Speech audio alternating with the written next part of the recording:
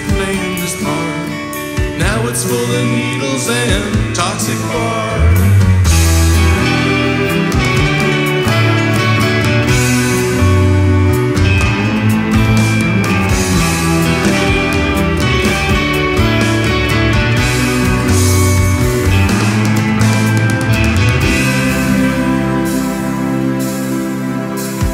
Does the beautiful part have to end? I'm afraid so.